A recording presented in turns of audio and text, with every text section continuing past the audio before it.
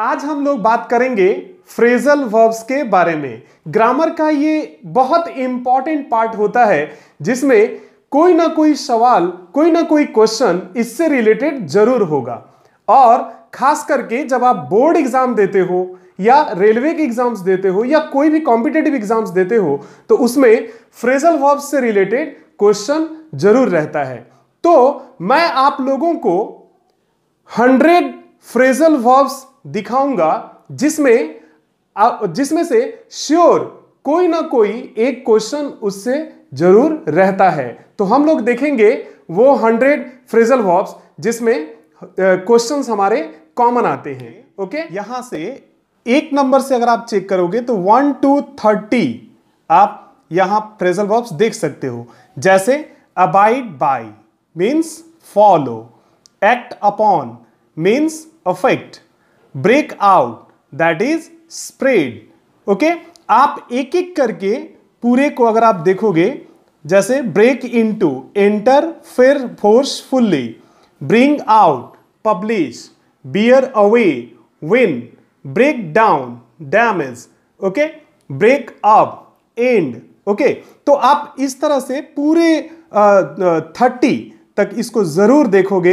इस और पेज पे देख सकते हैं आप जैसे call for means require cut out that is eliminate okay came about that is happen call off that is recall call in summon call for demand die down disappear do away with avoid okay आप इसको 60 तक complete करके देख सकते हैं। आप ज़रूर इसको बार बार बार बार देख करके जरा याद करेंगे। कारण इन्हीं सब में से ज़रूर आपके एग्ज़ाम्स में क्वेश्चंस देता है।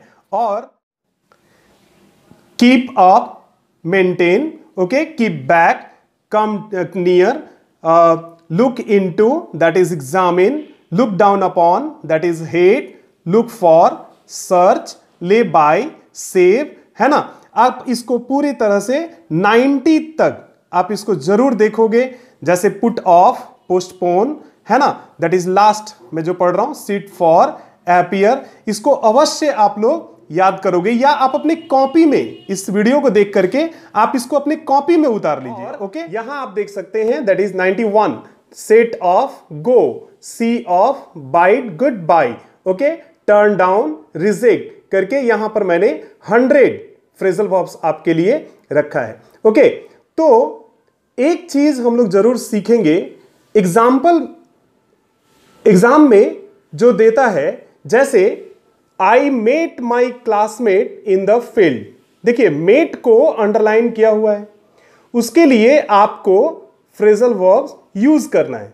तो मान लीजिए, जैसा कि हम लोग जानते हैं मेट का फ्रेजल वर्ब्स कम एक्रॉस होता है। ठीक है? और आप क्या करते हो? बॉक्स में कम एक्रॉस लिख के चले आते हो। फ्रेंड ये बिल्कुल गलत है। हम लोगों को टेंस को भी फॉलो करना होगा। आप देखो, यहाँ पर मेट है ना? मीट मेट है ना? दैट इज़ सेकेंड फॉर्म तो हम लोगों को इसको सेकेंड फॉर्म में लिखना होगा। That is came across come across गलत होगा। केम एक्रॉस सही है। Okay okay. जैसा कि आप लोग जानते हो इन्वेस्टिगेटिंग का मीनिंग होता है लुक इनटू तो इन्वेस्टिगेटिंग है वर्ब के साथ आईएनजी लगा हुआ है। वहाँ पर हम लोग क्या करेंगे? लुकिंग इनटू कर देंगे ओके ये सही है और लुक इनटू गलत हो जाएगा ओके थैंक यू